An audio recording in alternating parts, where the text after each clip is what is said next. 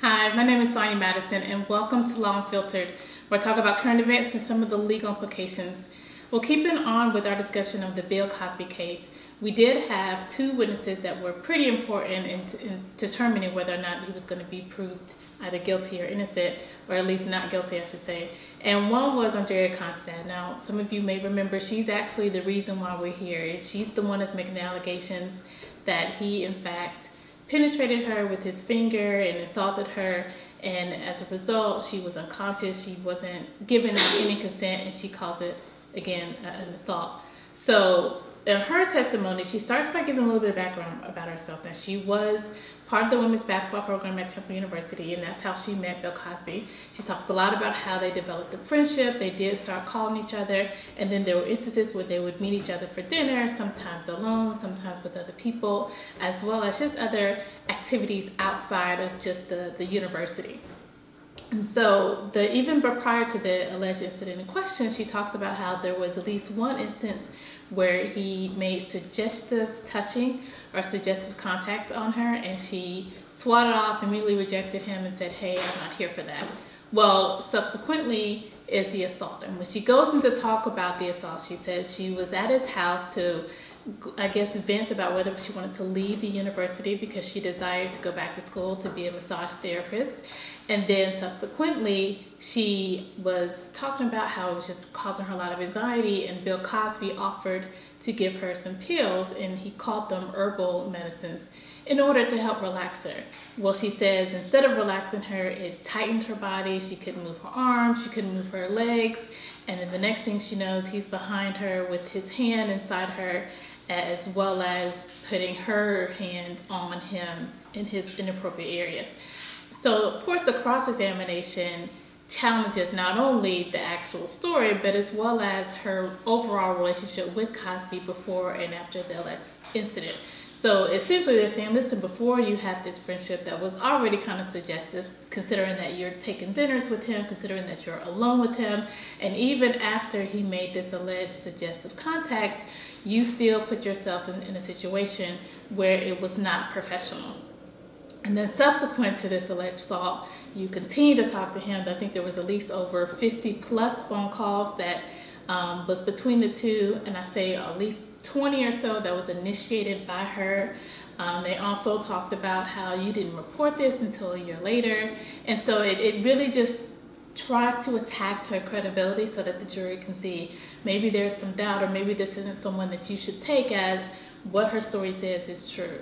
So in addition to her testimony, there was a testimony of a detective and that was pretty much the only witness that the defense brought out. And so the detective really spoke about well, listen, this is why the, we didn't bring this charge back in 2005 because we weren't quite sure about the credibility of the witness and we were still trying to determine if we felt she was credible or not. And so that was significant because again, not only do you have the witness take the stand and then you have the cross of the defense really challenging the accuracy of the story, but you have a third party who's a detective who is trained and at least supposed to be an expert in being able to evaluate whether or not someone is credible or whether or not a case should go to trial. And in this instance, he determined, well, I still don't have the substantial proof that we would need, at least, and that's of course the beyond reasonable, reasonable doubt element, to make sure that we can put this case going forward.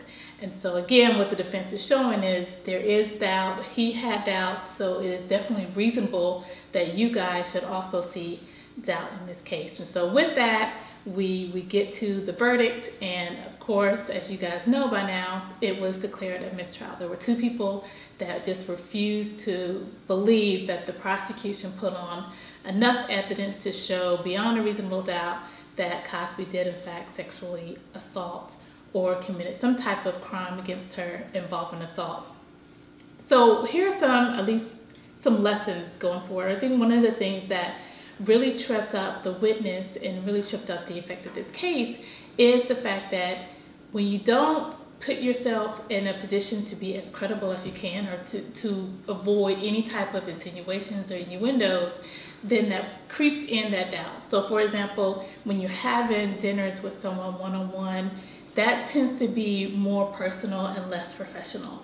When you're continuing to make contact with someone after they allegedly assaulted you or even raped you, that tends to suggest that either you didn't consider it that because a lot of people feel, and these are 12 jurors, right? They feel if you were violated in that extreme way that you're not going to want to continue to have contact with this person, that you're going to want to immediately notify authorities, that you're going to feel some kind of shame or some type of even fault them in yourself.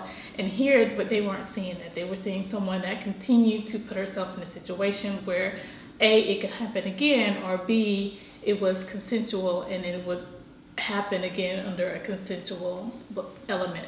Now, on the flip side, now I'm not saying Cosby is completely blameless because again, it does tarnish your reputation when you are facing charges or put on the stand or tried in this manner. And so even as something that he should consider going forward, when you become a public figure, of course everything is magnified, but using drugs to either taint someone's consciousness or to impair them in any way, it's just a dangerous line and, and, it's something that really shouldn't be done. I mean, consent really has to be conscious, it really has to be aware, and when you do things like that, again, you just put yourself in a situation where people then doubt even your credibility. Now, in this instance, he didn't take the stand, which I thought was extremely wise of him because as we saw back in 2005 when he took a deposition, it definitely hurt him more than it helped him.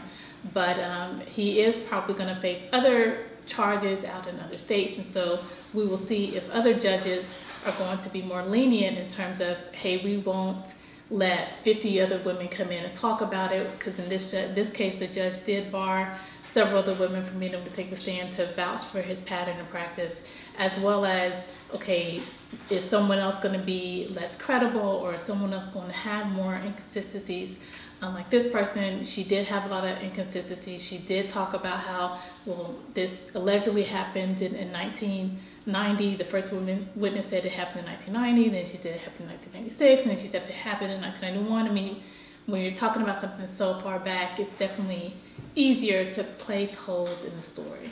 So let me know what you guys think. Are you surprised that it was a hung jury or did you expect that?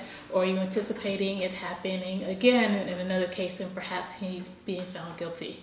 Let me know and thanks so much for tuning in. I'll catch you next time on Law Unfiltered.